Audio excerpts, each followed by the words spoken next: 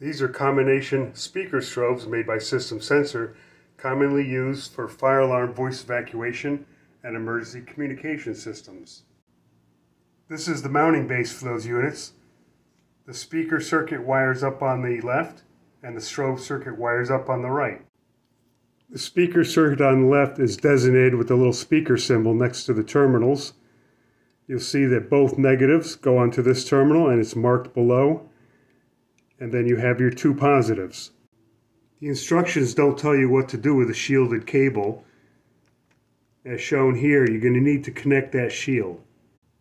You'll have shielded cable coming in for the speaker, and if you need to make a splice anywhere, make sure you twist that shield together.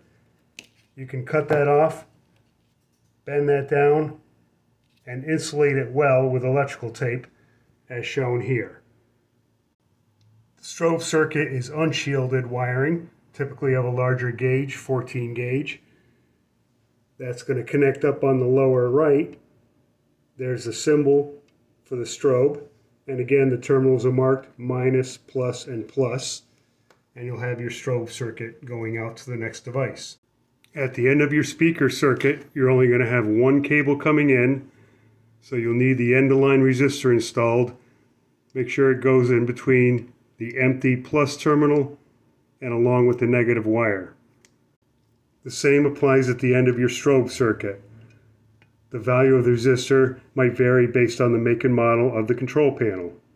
These resistors are incorrectly installed because in order for supervision to work, you have to be able to break the current flow through these terminals.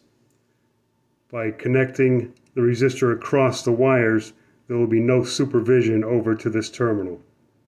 If the resistors you have don't have spades on them, make sure you have a good electrical connection because these wires are different sizes, they're not gripping in there tightly. You may need to fold the ends of the leads of the resistor over to get a good electrical connection.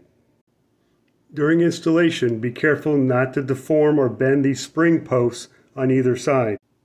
They need to make good electrical contact on the back of the device in order for it to operate and supervise properly. Install the device is to insert those hanger tabs into the top of the gray mounting then tighten that screw at the bottom.